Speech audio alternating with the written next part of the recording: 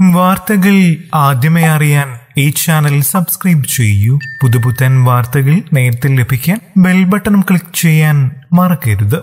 മുട്ടാർ പുഴയിൽ നിന്നും പെൺകുട്ടിയുടെ മൃതദേഹം കണ്ടെത്തിയ സംഭവത്തിൽ അപ്രതീക്ഷിത വഴിത്തിരിവ്. പെൺകുട്ടിയുടെ പിതാവ് സനുമോഹന് തമിഴ്നാട്ടിൽ മറ്റൊരു ഭാര്യയും കുട്ടിയുമുള്ളതായി സൂചന. തമിഴ്നാട് പോലീസ് നടത്തിയ അന്വേഷണത്തിലാണ് ഈ വിവരം ലഭിച്ചത്. നാട്ടിലുള്ള ഭാര്യ മകളെയും ഒഴിവാക്കി തമിഴ്നാട്ടിലുള്ള കുടുംബവുമായി മുന്നോട്ടു പോകാനായിരുന്നു സനുവിന്റെ തീരുമാനമെന്ന് സംശയിക്കുന്നതായി പോലീസ് പറയുന്നു. ഇതിനാൽ ഭാര്യ മകളുമായി സനു അകന്നു തുടങ്ങിയിരുന്നു. എന്നാൽ പിന്നീട് വൈകി തനിക്ക് ഒരു ബാധ്യത ആകുമോ എന്ന ഭയത്തിൽ മകളെ പുഴയിൽ എറിഞ്ഞതാകാം എന്ന നിഗമനത്തിലാണ് പോലീസ്. അതേസമയം തമിഴ്നാട്ടിലെ ഭാര്യയും കുട്ടിയും കണ്ടെത്താൻ പോലീസ് തിരച്ചിൽ തുടരുന്നതായാണ് വിവരം. തമിഴ്നാട്ടിൽ ക്യാമ്പ് ചെയ്യുന്ന അന്വേഷണ ഉദ്യോഗസ്ഥർ ഇയാളുടെ ഒളിസങ്കേതം കണ്ടെത്തിയെന്നും സനു ഉടൻ പിടിയിലാകുമെന്നും സൂചനയുണ്ട്.